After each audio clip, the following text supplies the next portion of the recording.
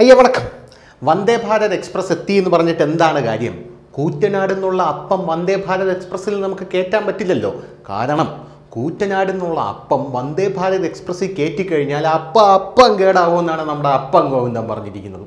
എന്ത് തന്നെയായിരുന്നാലും നമ്മുടെ അപ്പം ഗോവിന്ദൻ എന്ന് സംഖ്യകൾ കളിയാക്കി വിളിക്കുന്ന നമ്മളെ ഗോവിന്ദൻ മാഷിന്റെ പുതിയ പ്രസ്താവനയാണ് സമൂഹ മാധ്യമങ്ങളിൽ ഇപ്പോൾ ചർച്ചാ വിഷയം എന്ന് പറയുന്നത്. കൂറ്റനാട് നിന്നും കേരളയിൽ അപ്പം ഇന്ന് രാവിലെ ഒമ്പത് മണിക്ക് കൊണ്ടുപോയി കഴിഞ്ഞാൽ ഒരു പതിനൊന്ന് മണിയാകുമ്പം എറണാകുളത്തെത്തി അപ്പവും വിറ്റ് തിരിച്ച് പന്ത്രണ്ടരയാകുമ്പം വീട്ടിൽ വീട്ടിലിരുന്ന് ഉച്ചയൂണ് കഴിക്കാമെന്ന യമണ്ടം മണ്ടത്തരമാണ് നമ്മുടെ അപ്പം ഗോവിന്ദൻ സാറ് തട്ടിവിട്ടത്. ഏത്? ജനകീയ പ്രതിരോധന യാത്രയിൽ. അവസാനം ജനകീയ പ്രതിരോധന യാത്ര ജനകീയ കോമഡി യാത്രയായി മാറുന്നത് നമ്മളെല്ലാവരും കണ്ടതാണ്. അതിനുശേഷം ഇത് വലിയ കോമഡിയും ട്രോളുമായി മാറിയതിന് ശേഷവും നമ്മുടെ അപ്പം ഗോവിന്ദൻ ഈ നിലപാടിൽ നിന്നും ഒരാണ് വിട പോലും മാറാൻ തയ്യാറല്ല. അതാണ് ഒരു കമ്മ്യൂണിസ്റ്റുകാരന്റെ വിപ്ലവ വീര്യം എന്ന് പറയുന്നത്. താൻ പറയുന്നത് മണ്ടത്തരമാണെങ്കിലും ആ മണ്ടത്തരത്തിൽ ഉറച്ചു നിൽക്കാനും ചുറ്റും നിൽക്കുന്ന പത്ത് പേരെങ്കിലും ആ മണ്ടത്തരം സത്യമാണെന്ന് പറഞ്ഞ് വിശ്വസിപ്പിക്കാനുമുള്ള അദ്ദേഹത്തിന്റെ കഴിവ് അതൊരു അപാര കഴിവ് തന്നെയാണ് എന്ന് പറയാതിരിക്കാൻ വയ്യ. എന്തായിരുന്നാലും ഇപ്പോൾ നമ്മുടെ അപ്പം ഗോവിന്ദൻ എന്ന് പറയുന്ന നമ്മുടെ ഗോവിന്ദൻ മാസ്റ്ററിന്റെ പുതിയ പ്രസ്താവന എന്ന് പറഞ്ഞാൽ വന്ദേ ഭാരത് എക്സ്പ്രസ് വന്നല്ലോ. വന്ദേ ഭാരത് എക്സ്പ്രസ് വന്നപ്പോൾ കമ്മികളുടെയും കൊങ്ങികളുടെയും എല്ലാം അണ്ണാക്കിൽ പിരി വെട്ടിയിരിക്കുകയാണ് വന്ദേ ഭാരത് എക്സ്പ്രസ് വന്നത് ആരും അറിഞ്ഞില്ല ഇവിടെ. അഹമ്മദ് ദേവർ ഗോവിലിനോട് പറഞ്ഞില്ലേ എന്ന് പറഞ്ഞ അഹമ്മദ് ദേവർ ഗോവിൽ ഇവിടെ മുണ്ടൂരി തലയെ കെട്ടി. എന്തായിരുന്നാലും നമ്മുടെ മന്ത്രി മുഹമ്മദ് റിയാസിനോടെങ്കിലും ഒന്ന് പറയാമായിരുന്നു. കാരണം കേരളം കേന്ദ്രം തരുന്ന ഈ വന്ദേ ഭാരത് എക്സ്പ്രസ്സിൽ ഒരു സംഭാവനയും കൊടുക്കുന്നില്ലെങ്കിലും ഒരു ഫ്ലക്സ് അടിക്കാനുള്ള സമയമെങ്കിലും നമ്മുടെ കേരളത്തിന് കൊടുക്കാമായിരുന്നു എന്നുള്ളതാണ്. അതുകൊണ്ടാണ് മുഹമ്മദ് റിയാസിനോടെങ്കിലും പറയാമായിരുന്നു എന്ന് പറയുന്നത്. കാരണം ഫ്ലക്സ് അടിക്കുന്നതിൽ അഗ്രഗണ്യനാണ് നമ്മുടെ മുഹമ്മദ് റിയാസ് എന്നുള്ള കാര്യത്തിൽ യാതൊരുവിധ തർക്കവുമില്ല.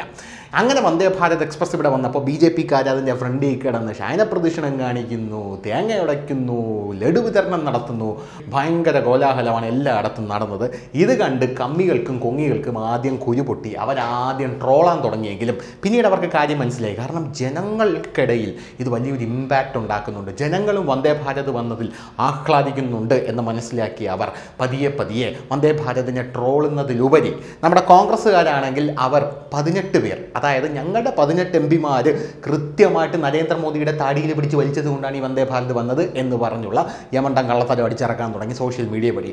അതങ്ങനെ ഒരു വഴിയെ പോവുകയാണ്. അപ്പുറത്ത് പോരാളി ഷാജി വിഭാഗമാണെങ്കിൽ അവിടെ ഇരുന്നുകൊണ്ട് വന്ദേ ഭാരതിന്റെ ടയർ പഞ്ചറാവും വന്ദേ ഭാരത് ഓടുമ്പോൾ ഫ്രണ്ടിൽ ടോർച്ച് ലൈറ്റും കടിച്ചു പിടിച്ചുകൊണ്ട് ഓടിയാൽ അതിന്റെ മുമ്പിൽ ലൈറ്റ് വരൂ ഫ്രണ്ടിൽ ഹെഡ്ലൈറ്റ് ഇല്ല എന്നൊക്കെ പറഞ്ഞ് വലിയ രീതിയിലുള്ള വന്ദേ ഭാരതിനുള്ള ഡീഗ്രേഡ് ഒരു സൈഡിൽ തുടങ്ങി. വന്ദേ ഭാരതിന്റെ നിരക്ക് കൂടുതലാണ് എന്നൊക്കെ പറഞ്ഞ് കേരളിന്റെ നിരക്ക് ഇതാണ്. പക്ഷേ കേരയിൽ വരണമെങ്കിൽ രണ്ടായിരത്തി മുപ്പത് വരെ എത്തണം. രണ്ടായിരത്തി മുപ്പത് വരെ എത്തിയാലും പോലെ മലയാളിയുടെ ജട്ടി കീറുന്ന റേറ്റാണ് കേരളയിൽ രണ്ട് ലക്ഷം കോടി രൂപയാണ് ഈ കേരയിൽ എന്ന് പറഞ്ഞ സാമാനം ഉണ്ടാക്കിയെടുക്കുക ഇവിടെ ഒരു K S R T C പോലും നേരെ ചെവി ഓട്ടിക്കാൻ വയ്യാത്തവന്മാരാണ് കേരയിൽ ഉണ്ടാക്കാൻ പോകുന്നത് എന്നൊരു ട്രോൾ വേറെ. എന്തായാലും അങ്ങനെ എങ്ങനെയൊക്കെ ട്രോളുകൾ വഴിമാറി പോകുന്നത് നമ്മൾ കണ്ടതാണ്. അങ്ങനെ വന്ദേ ഭാരത് എക്സ്പ്രസ് വന്നു. വന്ദേ ഭാരതിന്റെ മുമ്പിൽ കടന്ന് ഷോ കാണിക്കുന്ന ബി ജെ പി പ്രവർത്തകനെ നോക്കി. വന്ദേ ഭാരത് നരേന്ദ്രമോദിയുടെ തറവാട്ടിൽ നിന്നാണോ തന്നത് എന്ന് പല ആൾക്കാരും ചോദിക്കുന്നുണ്ടായിരുന്നു. ഈ ചോദിക്കുന്നവരൊക്കെ നമ്മുടെ ഫറൂഖ് പാലം ബ്രിട്ടീഷുകാരുണ്ടാക്കിയ പാലമാണ് ആ ബ്രിട്ടീഷുകാരുണ്ടാക്കിയ പാലം ഒരു കോടി രൂപയ്ക്ക് പെയിന്റ് അടിച്ച് പുതുക്കി പണിത് വലിയ ആനയും കൊരവയും ചെണ്ടമേളവും ഒക്കെ ആയിട്ട് മുഹമ്മദ് റിയാസിനെ മണ്ടേ കയറ്റി ഒരു സൈഡിൽ കലാഭവൻ ഷാജോണിനെയും കയറ്റി വലിയ രീതിയിൽ ഘോഷയാത്രയൊക്കെ നടത്തിയതാണ്. അത് ഒരു പാലം പെയിന്റ് അടിച്ചതിന്റെ പേരിൽ ഘോഷയാത്ര നടത്തിയ ടീമാണ് എന്ന് നമ്മൾ ആലോചിക്കണം. അങ്ങനെ വന്ദേ ഭാരത് ഇവിടെ വന്നപ്പോൾ കെ റെയിലിന്റെ പ്രസക്തി എത്രത്തോളം ഉണ്ട് എന്ന് മലയാളികൾ ചിന്തിക്കാൻ തുടങ്ങി. കാരണം ഈ വന്ദേ ഭാരത് മണിക്കൂറിൽ ഇരുന്നൂറ് കിലോമീറ്റർ വേഗത്തിലാണ് ഓടുന്നത്. പക്ഷേ കേരളത്തിൽ എൺപത് കിലോമീറ്റർ വേഗത്തിൽ മാത്രമേ വന്ദേ ഭാരത് ഓടുന്നുള്ളൂ. കാരണം കേരളത്തിലെ റെയിൽവേ പാളങ്ങളുടെ സവിശേഷത വളവും തിരിവും ഉള്ള സ്ഥലങ്ങളിൽ വന്ദേ ഭാരതിന് വേഗം കുറയ്ക്കേണ്ടി വരും. അങ്ങനെ പോയാൽ എങ്ങനെ നോക്കിയാലും എൺപത് കിലോമീറ്റർ മേലെ പോകില്ല എന്നാണ് പല കമ്പികളും അടിച്ചിറക്കിയ ഒരു വാദം എന്ന് പറയുന്നത്. പക്ഷേ അവർ മറന്നുപോയൊരു കാര്യമുണ്ട്. കേന്ദ്രം ഭരിക്കുന്നത് പാനങ്ങളുടെ സർക്കാരാണ്. അവരൊരു കാര്യം പറഞ്ഞു കഴിഞ്ഞാൽ കോൺഗ്രസ് ആണെങ്കിൽ ഇപ്പം പറയും ഇരുപത്തഞ്ച് കൊല്ലം കഴിഞ്ഞ് നടത്തും അതിൽ അമ്പത് ശതമാനം കമ്മീഷൻ ഒടിക്കും പക്ഷേ നരേന്ദ്രമോദി സർക്കാരാണെങ്കിൽ നിതിൻ ഗഡ്കരിയൊക്കെ കണ്ടല്ലോ ഇപ്പം കന്യാകുമാരി മുതൽ അങ്ങ് കശ്മീർ വരെയുള്ള എക്സ്പ്രസ് ഹൈവേ വരും എന്ന് നിതിൻ ഗഡ്കരി പറഞ്ഞതേ ഉള്ളൂ. കുറച്ച് നാൾ കഴിയുമ്പോൾ നമ്മൾ കേൾക്കും ദാ അതിന്റെ ഉദ്ഘാടനമായിരുന്നു. അമ്മ അതിന് വേഗത്തിലാണ് ഓരോ കാര്യങ്ങൾ പോകുന്നത്. അപ്പോഴാണ് അതായത് ഇന്നലെ ട്രോൾ ഇറക്കിയതേ ഉള്ളൂ. വന്ദേ ഭാരതിന് എൺപത് കിലോമീറ്റർ വേഗം മാത്രമേ ഇവിടെ കൈവരിക്കാൻ സാധിക്കുന്നു ഇന്ന് തന്നെ കേന്ദ്ര സർക്കാർ വളവും തിരിവും നൂർത്തെടുക്കാനുള്ള പഠനം തുടങ്ങി ചില ഭാഗങ്ങളിൽ നൂർക്കാനുള്ള പ്രോസസ്സിലേക്ക് കടന്നുവെന്നും ചില ഭാഗങ്ങളിൽ അതിന് സ്ഥലം ഏറ്റെടുക്കാനുള്ള കാര്യങ്ങൾ ആലോചിച്ചു തുടങ്ങിയെന്നും റിപ്പോർട്ടുകൾ വരുന്നുണ്ട്. അതാണ് കേന്ദ്ര സർക്കാരിന്റെ ഒരു വേഗത എന്ന് പറയുന്നത്.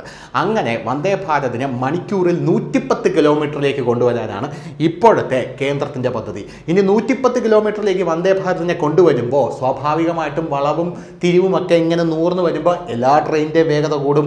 ആ നൂറ്റിപ്പത്ത് കിലോമീറ്ററിൽ നിന്ന് നൂറ്റി മുപ്പത് കിലോമീറ്ററിലോട്ടും വന്ദേ ഭാരതിനെ കൊണ്ടുവരാൻ അടുത്ത പടിയായിട്ട് പദ്ധതിയുണ്ട് എന്നാണ് അറിയാനായിട്ട് സാധിക്കുന്നത്.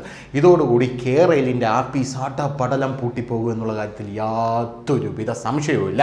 ഈ കാര്യത്തിൽ അതായത് കാര്യങ്ങൾ വളരെ സിസ്റ്റമാറ്റിക്കായിട്ട് നീങ്ങുന്ന ഈ സമയത്ത് നമുക്ക് എന്ത് ചെയ്യാൻ പറ്റും? ഒന്നും ചെയ്യാൻ പറ്റുന്നെങ്കിൽ കൊഞ്ഞണം കുത്തി തോപ്പിക്കുക എന്നുള്ളതാണ് നമ്മുടെ എം വി ഗോവിന്ദന്റെ ഒരു പരിപാടി. അതുകൊണ്ടാണ് കൊഞ്ഞണം കുത്തുന്ന പരിപാടിയായിട്ട് നമ്മുടെ എം വി ഗോവിന്ദൻ കൂറ്റനാടുള്ള അപ്പം വന്ദേ ഭാരതി കയറിയ അപ്പ കേടാവും എന്ന് പറഞ്ഞ് രംഗത്തെത്തിയിരിക്കുന്നത് എന്ന് നമ്മൾ നിരൂപിച്ചെടുത്തോണം അപ്പം ശരി.